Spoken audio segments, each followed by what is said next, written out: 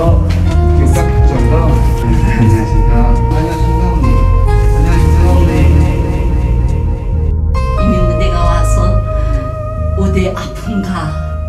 여름 몇 던가 어떻게 아는가 다 물어봅니다. 그런데 이렇게 또 집에 부시물까지 갖다 주니까 이거 얼마나 고마운지 이렇습니다. 우리는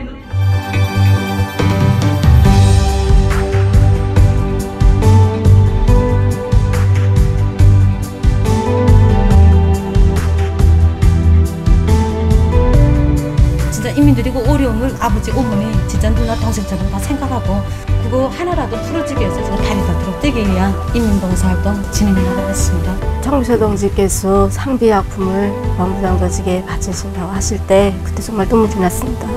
나도 무엇을 바치자. 우리 정미소 동지 그 발걸음에 나도 따라 세워보자.